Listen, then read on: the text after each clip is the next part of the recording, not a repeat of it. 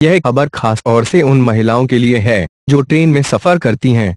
Train के toilet का इस्तेमाल करने से पहले एक बार वहाँ की अच्छे से जाँच ज़रूर कर लें, क्योंकि कुछ ऐसा ही हुआ है मुंबई में, जिससे कई महिलाओं की इज़्ज़त से खिलवाड़ करने की साजिश का खुलासा दरअसल। एक 50 साल की महिला की सतर्कता के कारण पुलिस ने ट्रेन के टॉयलेट में मोबाइल फ़ोन छिपाकर महिला यात्रियों का वीडियो बनाने के आरोप में एक व्यक्ति को गिरफ़्तार किया है। हैरत की बात, टॉयलेट में मोबाइल रखने का आरोपी और कोई नहीं बल्कि एक रेलवे कर्मचारी है। घटना शनिवार को गोरखपुर लोकमान्य तिलक टर्मिनस एक्सप्रेस की है। एक 50 साल की महिला की सतर्कता से पूरे मामले का खुलासा हुआ। थाने की मानपाड़ा की रहने वाली एक 50 साल की महिला एक कोच की टॉयलेट में गई। वहाँ उनकी नज़र छिपाकर रखे गए मोबाइल फ़ोन पर पड़ी। उस समय आरोपी सलीम शेख टॉयलेट के बाहर खड़ा था।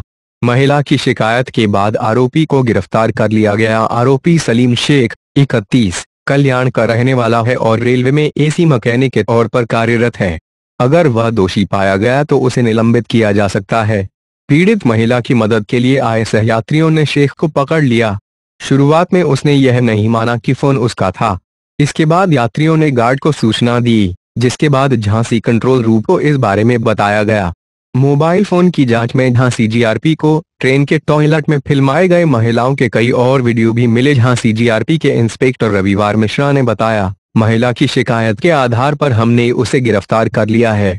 उसके खिलाफ आईपीसी की धारा तीन सौ चौवन के तहत केस दर्ज किया गया है। एक और वरिष्ठ अधिकारी ने बताया कि कर्मचारी के ही इस तरह के कृत्यों में शामिल होने की घटना रेलवे के लिए शर्मिंदा करने वाला है।